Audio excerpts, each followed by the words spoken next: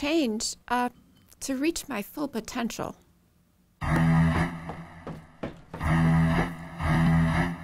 want to overcome, oh, um, being able to speak in front of people without feeling like I have to throw up or pass out. I was scared to come to Toastmasters, but I told myself, I can do this.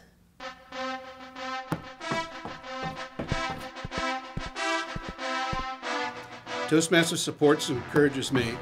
It's only my third third meeting and I'm already feeling confident. I didn't find Toastmasters. Toastmasters found me. We will, we will rock you!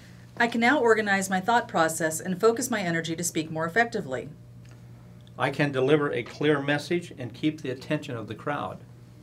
It's hard to be on all of the time.